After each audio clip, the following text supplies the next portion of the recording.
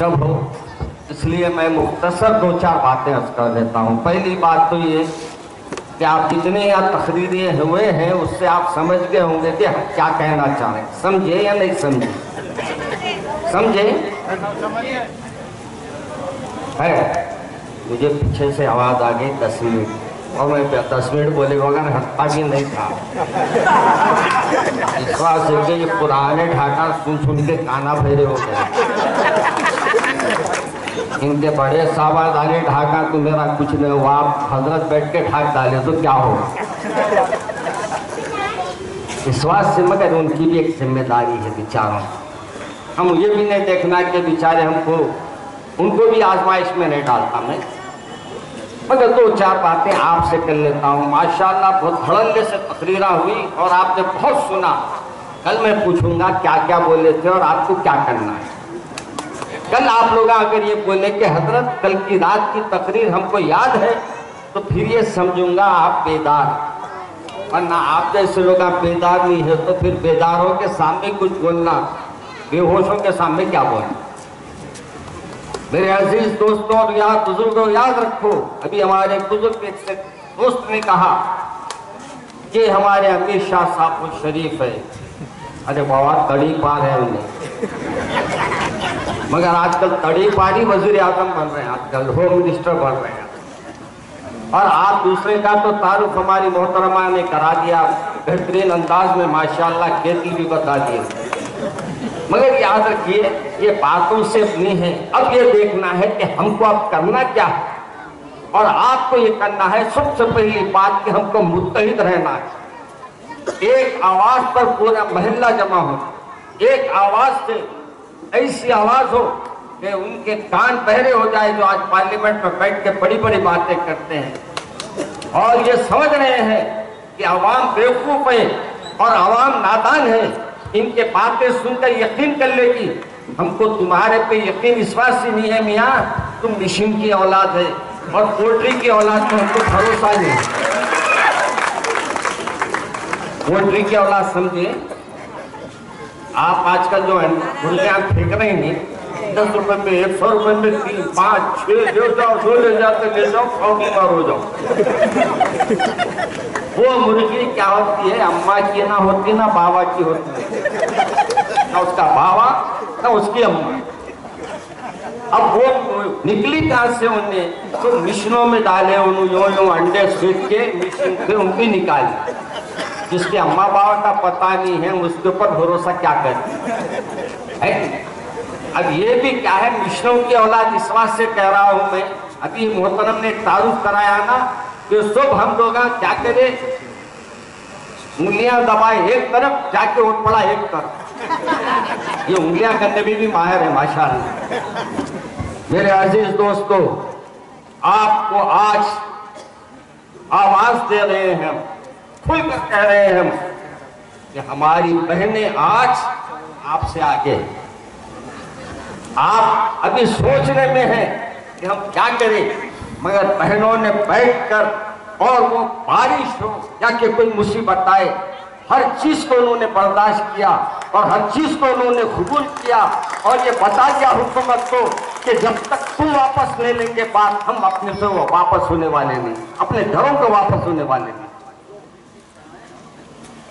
हाल में मैं मुख्तलिफ़ जगह जहाँ खुतिन बैठी है, उसमें एक मुकाम पर मेरी जबान से सिर्फ़ ये निकला कि पुलिस वाले साहब कुछ रोक रहे हैं।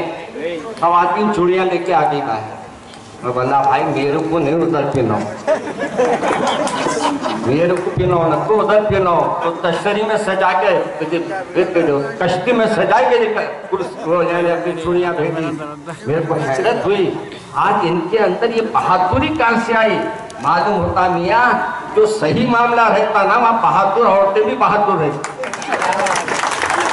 ढीला ढाला मामला रहता? अरे ढीले ढाले रहते सब मामले। और एक बात याद रख लो ये भी बात मैं खास कह रहा हूँ। आज मोहतरम एक ने तकरीर करते हुए कहा अमित शाह शरीफ है, मोदी शरीफ है। ये आरएसएस की पैदावारी से बाबा ये भी। ये भी आरएसएस के कुंबे हैं ये। ये भी अपने जहनी तौर पे ये लोग पूरे के पूरे जितने हैं ये चटिया वाले। अगर इनको देखेंगे तो इनके जहन पूरे मुसलमानों को मिटाने के तरफ़। और अभी मोहतरम ने एक अच्छी बात कही।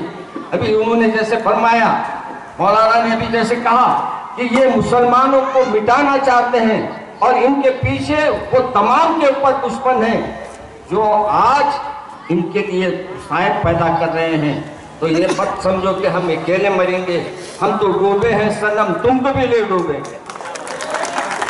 हम डरते नहीं, डरते इस बात से नहीं, हम अल्लाह से डरने वाले अब क्या बात है कोरोना से डर रहे की क्या है? आजकल मौलाना तो बहुत परेशानी हो रही, मौला कहीं को मना है, दो कोरोना बहुत रहे मौला एक करो, होना है। वो कौन है? अमित शाह साहब कुछ भी नहीं करता, खुद बोलते रहता और सौ लिखा, एक पता कर सौ पक्का एक लिखा। कहीं भी रहना नहीं। इसके माने क्या है? सौ बोले तो कुछ भी नहीं होता, एक लिखत देना है। लिखत देने तैयार नहीं। लिख के देने तैयार नहीं। मेरे अज़ीज़ दोस्तों और बुज़ुर्गों, क्योंकि बातें सुबह आ गई थी, इसलिए मैं मुख्तसर से दो चार बातें अर्ज़ कर देता हूँ। पहली बात तो यह है कि आप जितनी बातें यहाँ कही गई, उसको दिल पे लीजिए। उठ के पूछिए मत। ये भी मेरा साथ छोड़ देना। सुबह में उठ के मत देखिए कि हम क्या कहना है। सुन मिलके तय कर लीजिए कि हमको कागज़ नहीं बताना है ये हमारा एक एक अपना इरादा कर लीजिए। जो होता होने दीजिए, उससे फ़िक्र मत कीजिए। दूसरी गुजारिश ये है कि आज जहाँ जहाँ फसाद हुआ है, ये पूरे के पूरी जिम्मेदार बीजेपी। और ये बीजेपी चाहती है कि हमारे में और गैर एक फसाद का रंग इसको दे दिया जाए। और ये जो इस वक्त मौके हालात पैदा हो गए हैं, इनको दबाने का वो एक तरीके कार ढूंढ रही है और वो तरीक़ार में, तरीके कार में उसने ऐसा दिल्ली में हालात पैदा किए कि लोग ये समझ रहे हैं कि करें तो क्या करें। मगर याद रखो, तुम हमारे घर जलाए, हमारे को नुकसान पहुँचाए और आज पार्लियामेंट में ठहर के कहते हैं, मैं हिंदुओं को मुसलमान को अलग नहीं करता। अरे, अलग कैसा करेंगे बाबा तू पहले अलग कर दिया, आप क्या करने की बात है ऐसे दोस्तों, आपको मालूम जो रिपोर्ट इसने पेश किया है? ये बंदा ऐसी रिपोर्ट पेश किया है कि ये रिपोर्ट में अगर वो पेश करता तो मालूम होता कि मुसलमान कितने मरे, मुसलमान कितने शहीद हुए घरों में कितने घरे उनके लूटे गए, कारोबार कितने खराब हुए। इसलिए इन्होंने क्या किया?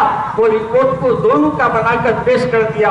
मालूम ये होता है कि हमारे लिए साजिश करने के लिए हज़ारों है और हमारे को इस साजिश से निकालने वाले चंद लोग रह गए हैं।